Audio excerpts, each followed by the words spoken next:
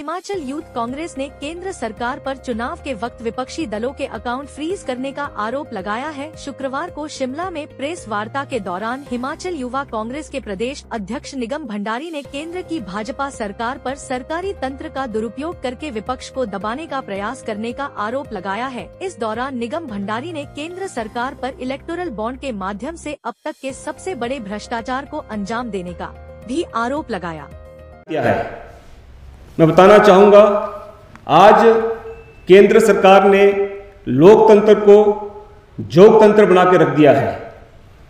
हम बात कर रहे हैं, आपने सुना होगा पिछले दिनों से, इलेक्ट्रोल बॉन्ड के नाम पर किस प्रकार से भारतीय जनता पार्टी के नेताओं ने चंदा वसूली किया। आप खुद समझते हैं कि भी ये जो माहौल, ये जो इलेक्ट्रोल बॉन्ड का जो मुद्दा है आज पूरे के पूरे देश में गरमाया हुआ है। और इस मुद्दे के उजागर होने के बाद कहीं ना कहीं भारतीय जनता पार्टी आज बैकफुट में आपको दिख रही है। सुप्रीम कोर्ट का भी हम धन्यवाद करना चाहेंगे कि उन्होंने इतना बड़ा जो, एक जो इतना बड़ा, इसको हम कह सकते हैं कि आज तक का सबसे बड़ा भ्रष्टाचार जो भारतीय जनता पार्टी ने शुरू किया है, इसका खुलासा कहीं ना कहीं सुप्रीम कोर्ट के द्वारा किया गया। हम माननीय सुप्रीम कोर्ट का भी हम धन्यवाद करना चाहते हैं। इलेक्ट्रोल बॉन्ड के नाम पर हफ़्ता वसूली करने वाली सरकार ने दुनिया का सबसे बड़ा भ्रष्टाचार किया है। कंपनियों से एक्सटॉर्शन का यह मॉडल खुद नरेंद्र मोदी का तैयार किया हुआ है।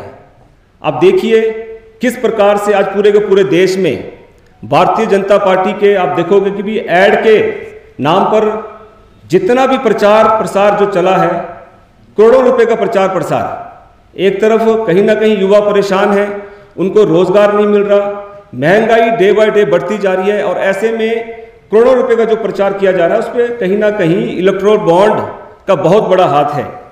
और मैं इसको साफ़ तौर पे कहना चाहूँगा, यह आपराधिक खेल है जो भारतीय जनता पार्टी के द्वारा खेला जा रहा है। इसके भी कुछ अलग अलग नियम हैं। एक तरफ़ कॉन्ट्रैक्ट दिया, दूसरी तरफ़ कट लिया।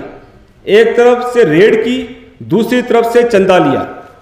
ED ID ED IT CBI जैसे जाँच एजेंसियाँ, जो उच्च जाँच एजेंसियाँ थी, वो माननीय नरेंद्र मोदी जी की वसूली एजेंट बनकर काम कर रही है। जो कभी देश के उच्च संस्थान हुआ करते थे, वो अब भाजपा के हथियार के रूप में काम कर रहे हैं, जिसका हिमाचल प्रदेश युवा कांग्रेस पुरजोर विरोध करती है। कोई भी स्थिति हो मैं कोई भी स्थिति में नहीं वह इलेक्ट्रोल बॉन्ड की सच्चाई जनता को बता सके इसलिए आज की ये प्रेस वार्ता रखी गई है।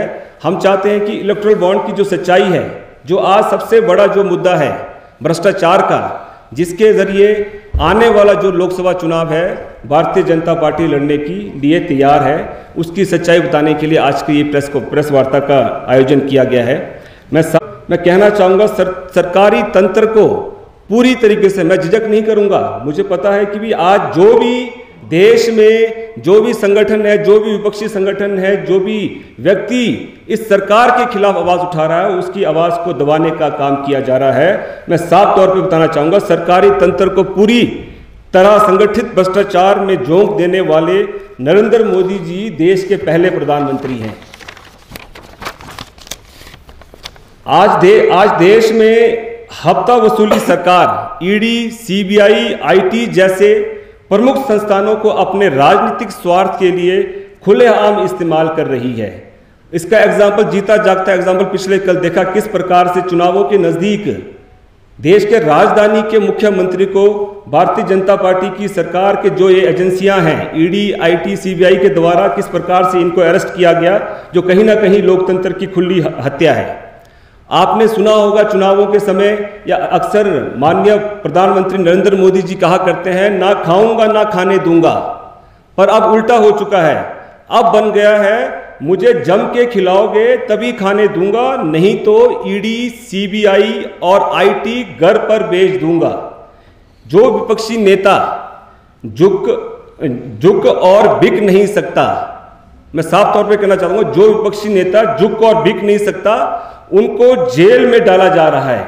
और जो झुक और बिक रहे हैं, उनको भाजपा की वॉशिंग मशीन में डालकर दुलाई के बाद ईमानदारी का सर्टिफिकेट दिया जा रहा है। आपने देखा किस प्रकार से पिछले दिनों जो हमारे विधायक थे कांग्रेस पार्टी के विधायक उन पे किस प्रकार से भारतीय जनता पार्टी की सरकार के द्वारा उन पे दबाव बनाया गया, किस प्रकार से उनको परेशान किया गया, और कहीं ना कहीं उन पे दबाव बनाया गया कि वो वो कहीं ना कहीं यहाँ से छोड़ के भारतीय जनता पार्टी के नेताओं के, उनको मजबूर, मजबूरन उनको वहाँ जाना पड़ा और कहीं ना कहीं अब अब वो मजबूरी में वहाँ फंसे हैं। मैं इसलिए साफ़ तौर पर कहना चाहूँगा, इस प्रकार की जो क्रिया है, इसका हम पुरजोर विरोध करते हैं।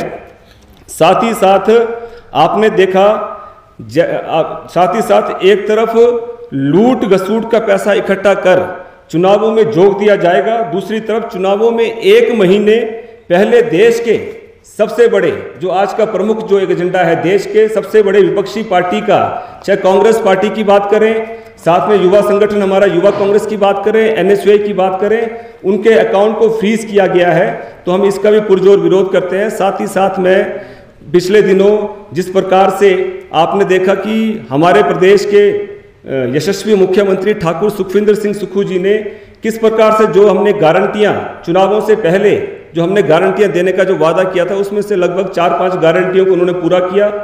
शिमला से कैमरामैन युगमार्ग टीवी।